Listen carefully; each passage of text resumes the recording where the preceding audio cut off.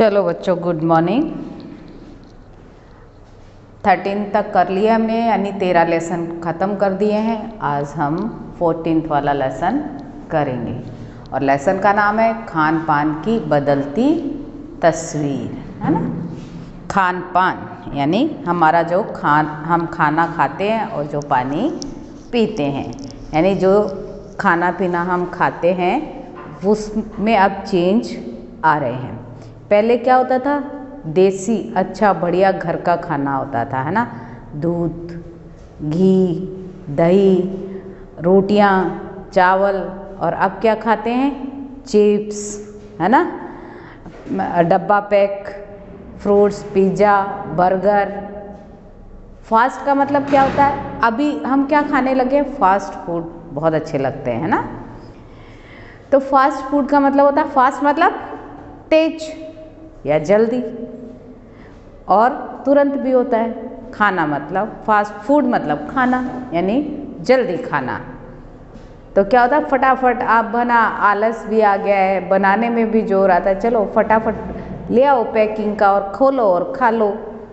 और थोड़ा सा उसमें वो डले होते हैं, मसाले वसाले बाज़ार के तो टेस्टी लगता है। तो अब क्या, लोगों का उस तरफ़ ज़्यादा ध्यान जा रहा है।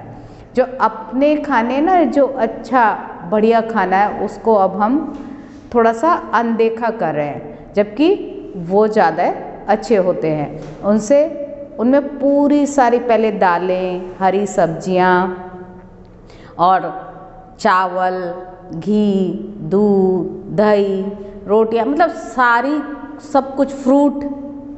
तो ये है ना, आदमी खाना पसंद करता था। और यही शामिल होते थे हमारी डाइट में। पर अब क्या हो गया है? कि नाश्ते में, चलो ब्रेड सेक लो टोस्ट खा लो, चाय पी लो, है ना? ये सब होता है। और उसके बाद दिन में चावल खाए तो खाए, नहीं तो पिज़्ज़ा ले आते हैं। शाम को बर्गर आ गया, है ना?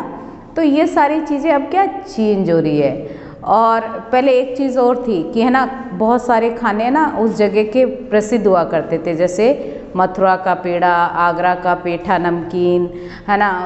उदयपुर की कचौरियाँ, प्याज की, गुजरात का क्या? ढोकला, गाठिया। तो ये ना उसी राज्य, उसी स्टेट एक पर्टिकुलर जगह में ही जाने पड़ते थे खाने के लिए या वहाँ से लेकर आने पड़ते थे। लेकिन अब तो क्या है कि सब जगह सारी चीज़ें मिल जाती है। ऐसा कुछ नहीं है कि, है ना, हमको अगर गाठिया खाना हो तो गुजरात ही जाना पड़ेगा या फिर हमको पेठा खाना हो तो जय, आगरा जाना पड़ेगा। अब क्योंकि इतनी सुविधाएँ हो गई हैं कि इजीली एक जगह से दूसरी जगह ये चीज़ें प्रोवाइड हो जाती है, यानी मिल जाती है हम लोगों को। तो वो चीज़ नहीं। लेकिन जहाँ पर ये, जहाँ की फ़ेमस है ना, वहाँ जाकर खाने के मज़े ही कुछ होते हैं, अलग ही स्वाद आता है। और अब चेंज भी आ गए वैरायटी भी चेंज हो गई है थोड़ा सा उतना स्वाद नहीं रहा जितना पहले चीज़ों में स्वाद स्वाद हुआ करता था। अब उनमें क्या आ गई है? चीज़ों में मिलावट। पहले लोग है ना, ज़्यादा ईमानदार थे, अब कम ईमानदार रह गए हैं। ईमानदार तो अभी भी हैं, ऐसा नहीं है। तो यही सारी चीज़ें अब हम इस लेसन में पढ़ने वाले हैं। इसके क्या फ़ायदे हुए हैं और क्या नुकसान होने लगे हैं। तो वो दोनों सारी चीज़ें हम इस लेसन में पढ़ने वाले हैं। चलो, अब लेसन शुरू करते हैं। पिछले 10-15 वर्षों से में हमारी खान पान की संस्कृति में एक बड़ा बदलाव आया है। इडली, डोसा, बड़ा सांभर, रसम। अब केवल दक्षिण भारत का तक ही सीमित नहीं है। आप चले जाओगे पालनपुर जैसी जगह पर भी इडली, डोसा, सांभर मिल जाएगा। अब हमको कहाँ नहीं जाना पड़ेगा? साउथ में नहीं जाना पड़ेगा ये सब खाने के लिए, यानी दक्षिण भारत, साउथ मतलब दक्षिण भारत में नहीं जाना पड़ेगा। हालाँकि वहाँ का ये मेन खाना है और वहाँ के लोग जितना अच्छा बनाते हैं, उतना यहाँ नहीं मिलेगा, पर अब सब जगह मिल जाता है। ये उत्तर भारत के भी हर शहर में उपलब्ध है और अब तो उत्तर भारत की ढाबा संस्कृति लगभग पूरे देश में फैल चुकी है। ढाबा संस्कृति, पता है? हाईवे पे चले जाओ, बहुत सारे ढाबे मिल जाएँगे। वो वाली संस्कृति अब पूरे, पहले है ना, उत्तर भारत में ये ज़्यादा प्रचलन में थी। फिर अब तो धीरे धीरे हर स्टेट में आपको ये संस्कृति मिल जाएगी। अब आप कहीं भी हो, उत्तर भारतीय रोटी, दाल, साग, आपको सब जगह मिल जाएगा। फास्ट फ़ूड, तुरंत भोजन। देखो, आ गया आपके लेसन में। का चलन भी बड़े शहरों में खूब बड़ा है। इस फास्ट फ़ूड में बर्गर नूडल जैसी कई चीज़ें शामिल हैं। पानी आ गया मुँह में? आया? हाँ खाने की चीज़ें हैं तो आएगा ही और वो भी सुबह सुबह पढ़ाना पढ़ा रहे हैं तो भूख भी लग जाती है ना? और तेज़ हो गई भूख, है ना? एक ज़माने में कुछ ही लोगों तक सीमित। चाइनीज़ नूडल्स अब संभवतः किसी के लिए अजनबी नहीं रहे। है ना? सब लोग। नूडल्स की तो बात आते ही बच्चे, बच्चों का चेहरा ही खिल गया होगा, है ना? आज शाम को यही डिमांड होने वाली है मम्मी से। नूडल्स की? हाँ पक्का, मुझे पता है। टू मिनट्स नूडल के पैकेट बंद रूप से तो कम से कम बच्चे, बूढ़े सभी परिचित हो चुके हैं। इसी तरह नमकीन के कई स्थानीय प्रकार अभी तक भले ही मौजूद हों, लेकिन आलू चिप्स के कई विज्ञापित रूप तेज़ी से घर घर में अपनी जगह बनाते जा रहे हैं। नमकीन मिल रही है। अलग अलग उसके भी बहुत सारे है कि ये बीकाजी वाली है, हल्दीराम की है, और बहुत सारे फ्लेवर की मिलती है, और बहुत सारे उसके ब्रांड होते हैं अलग अलग ब्रांड के पैकेट होते हैं। लेकिन एक जो ट्रेंड अब ज़्यादा प्रचलन में आ रहा है, वो है चिप्स वाला। टीवी में बैठो ना तो पाँच मिनट का वो एपिसोड आता है, फिर तीन मिनट के वो ऐड आते हैं। उसमें एक ऐड तो किसका होगा? चिप्स का ही होगा।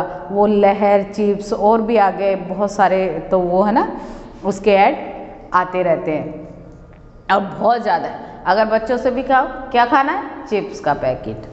गुजराती ढोकला गाठिया भी अब देश के कई हिस्सों में स्वाद लेकर खाए जाते हैं। और बंगाली मिठाइयों की केवल रस भरी चर्चा ही नहीं होती, वे कई शहरों में पहले की तुलना में अधिक मिलने। जो बंगाली मिठाइयाँ होती हैं ना, उनमें है ना क्या होती हैं आपके? गुलाब जामुन, रसगुल्ला। क्या बोलते हैं वो लोग? रसगुल्ला, है ना? तो उनकी, है ना, जो मिठाइयाँ होती हैं ना, उनमें चाशनी मतलब थोड़ी सी लिक्विड वाली होती है। तो वो पहले ना, वहीं की बहुत ज़्यादा कि बंगाली मिठाइयाँ बहुत टेस्टी होती है। पर अब वो बंगाली मिठाइयाँ ना, सब जगह मिल जाएँगी। यानी स्थानीय व्यंजनों के साथ ही, स्थानीय व्यंजन, स्थानीय का मतलब उसी जगह के मतलब किसी एक पर्टिकुलर जगह के।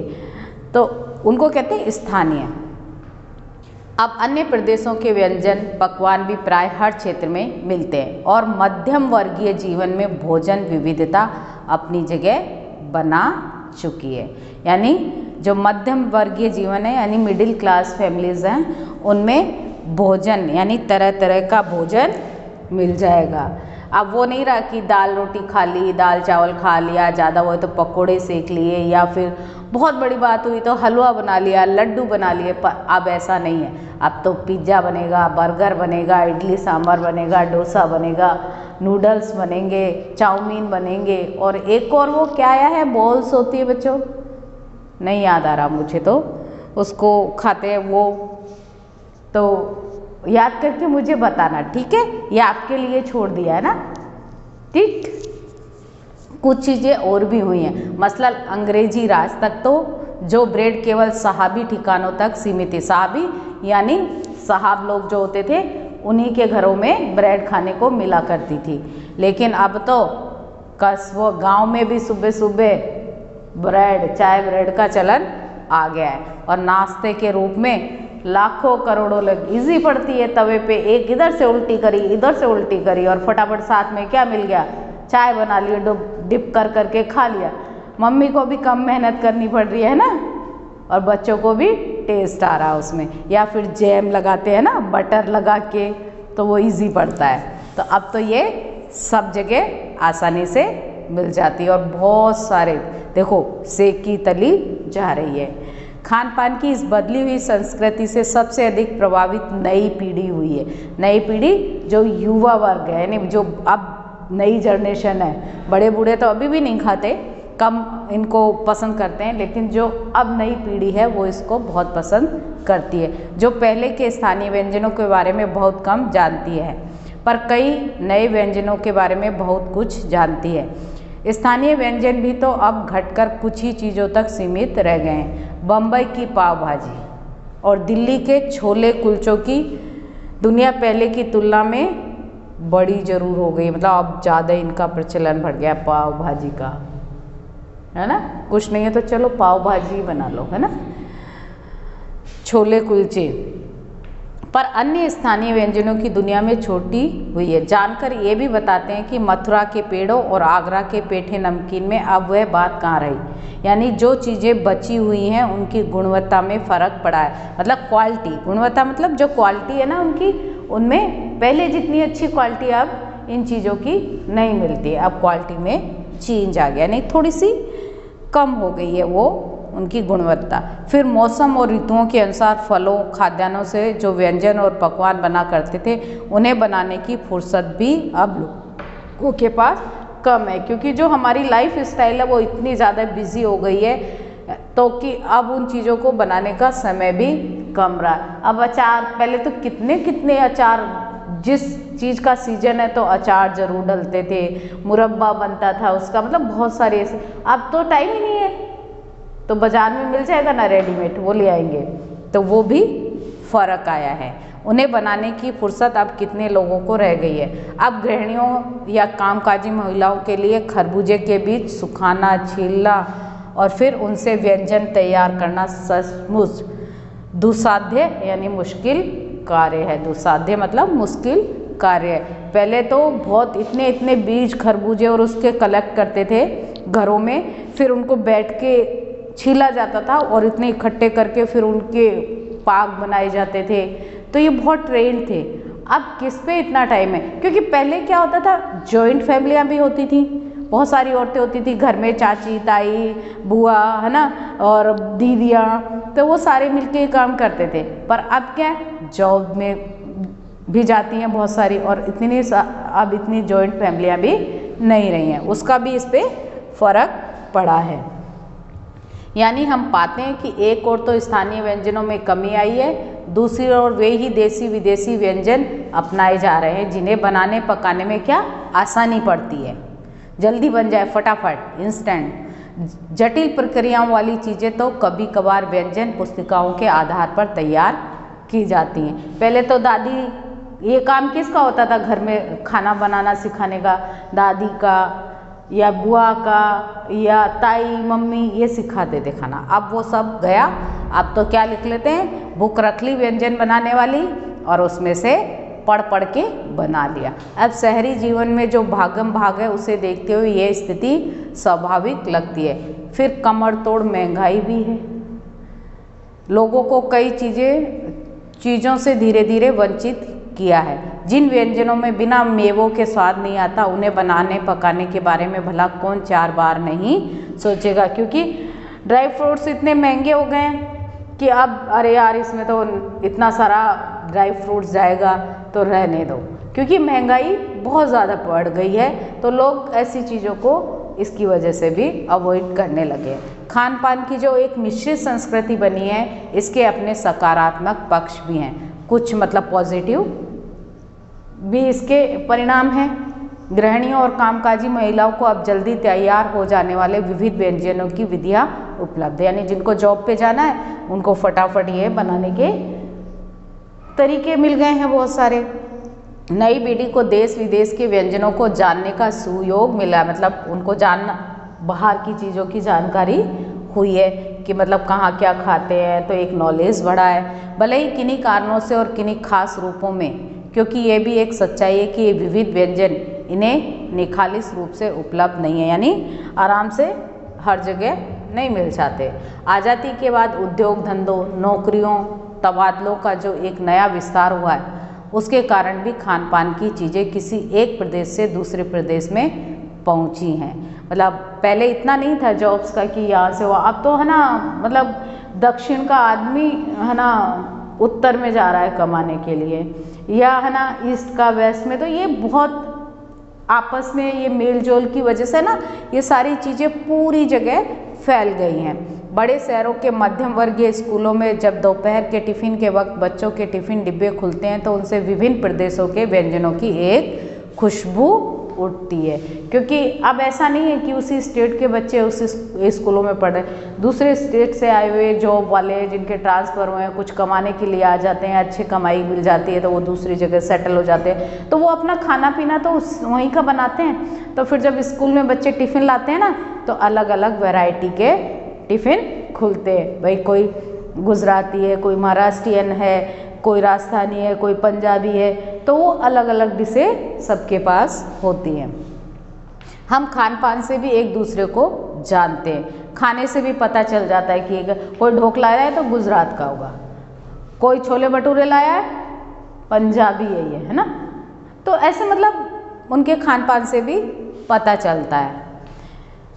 नई संस्कृति में हमें राष्ट्रीय एकता के लिए नए बीज भी मिल सकते हैं। बीज बली भांति तभी अंकुरित होंगे जब हम खान पान से जुड़ी हुई दूसरी चीज़ों की ओर भी ध्यान देंगे। यानी हमारी संस्कृति जब अलग अलग स्टेट के लोग हैं, राष्ट्रीय एकता तभी पनपेगी जब हम सबकी चीज़ों को अपनाएँगे।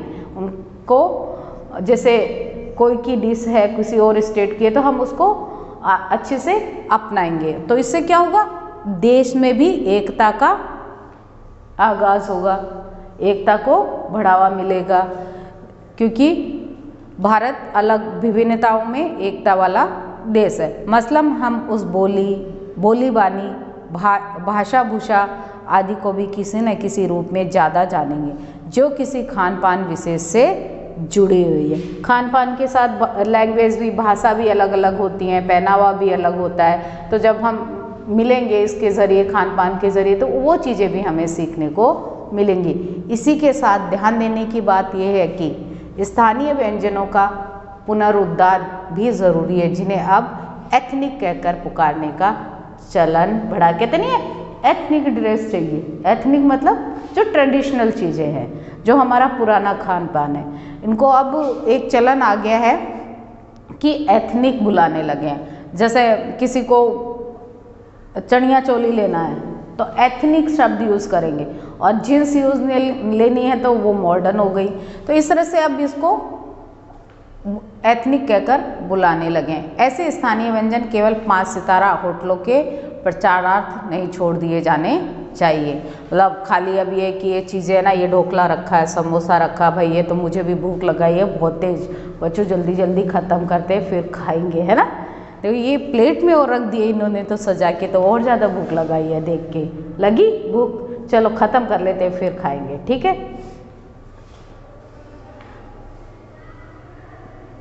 पर घरों बाज़ारों से गायब हो जाए तो ये एक दुर्भाग्य ही होगा। भाई, ऐसा नहीं कि खाली हमको ढोकला खाना तो बाज़ार जाना चाहिए, ऐसा नहीं।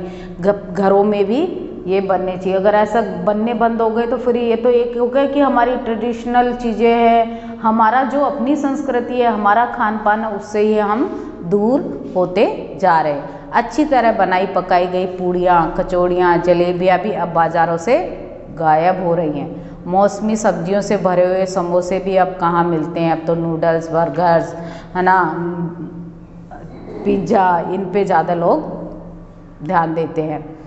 उत्तर भारत में उपलब्ध व्यंजनों की भी दुर्गति हो रही है, यानी अब लोग उनको भी कम पसंद करने लगे। नए नए आ गए ना चीज़ें बाहर की, उनको ज़्यादा है। लोग जो जल्दी फटाफट खाओ वो अब पे ध्यान दे रहे हैं। अचरज नहीं कि पहले उत्तर भारत में जो चीज़ें गली मोहल्लों की दुकानों में आम हुआ करती थी, उन्हें अब खास दुकानों में तलाशा जाता है। फिर जब ज़्यादा उसका चलन नहीं रहा था लोगों ने वो बंद कर दिए और अब वो कहीं कहीं ही मिलती हैं तो उनको ढूंढना पड़ता है। ये भी एक कड़वा सच है कि कई स्थानीय व्यंजनों को हमने तथाकथित आधुनिकता के चलते छोड़ दिया और पश्चिम की नकल में बहुत सी ऐसी चीज़ें अपना ली हैं जो स्वास्थ्य स्वाद, स्वास्थ्य और सरसता के मामले में हमारे बहुत अनुकूल नहीं हैं, यानी हमारे माफिक नहीं हैं। फिर भी हमने उनको अपनाया और जो हमारी चीज़ें हैं, जो हमारे लिए अच्छी हैं, हमारे स्वास्थ्य के लिए भी अच्छी हैं, स्वादिष्ट भी हैं और उनमें रस भी है। हमने उनको छोड़ दिया है और पश्चिमी, दिखावा भी बहुत आ गया है। पश्चिमी चीज़ों को ज़्यादा अपना लिया है। हो ये भी रहा है कि खान पान की मिश्रित संस्कृति में हम कई बार चीज़ों का असली और अलग स्वाद नहीं ले पा रहे।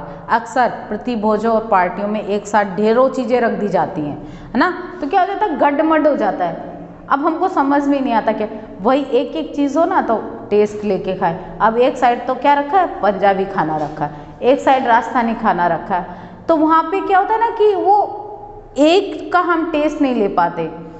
तो वो सारा गड मड हो जाता है ना ऐसे जैसे, नहीं होता ना कि सारी चीज़ें इकट्ठी हो गई।